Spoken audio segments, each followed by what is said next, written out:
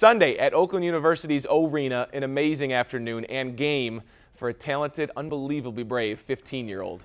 Sam's game, honoring Stoney Creek student Sam Kell in his battle against brain cancer, put Sam and his buddies against a group of his family, friends, and Sam really just on fire. Dave Rexroth and I suiting up. I'm in the corner there with Sam raining a three over my face.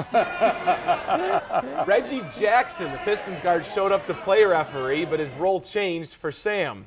Explain that in a second. Dave managed Hey, to sneak in a that. highlight. Look at it. Look at it. Look The at hand the up there. hand up there. Shooting? Yeah, that little punk said I couldn't shoot, so I had to. There you go. And he made it. They were all really nice kids. He an, wasn't a punk. an amazing day for the kid and the family. And he scored the last bucket in overtime. It's been awesome, uh, especially when Reggie sent me screens, give me some open looks, but um, it's been a lot of fun. I can't believe people got this together. So You were supposed to be the referee, but you turned out to be a pretty good teammate.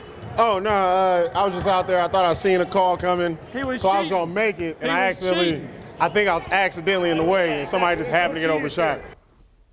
The event raised money for New Day Foundation to help families dealing with cancer. And a very fitting note, as I was saying earlier, overtime came. Right. It was tied. It was sudden death, and Sam hit the three from the top of the key, and boom.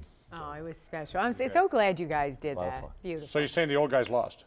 Yes. Yeah, oh yeah, big time. Coming up tonight, actually.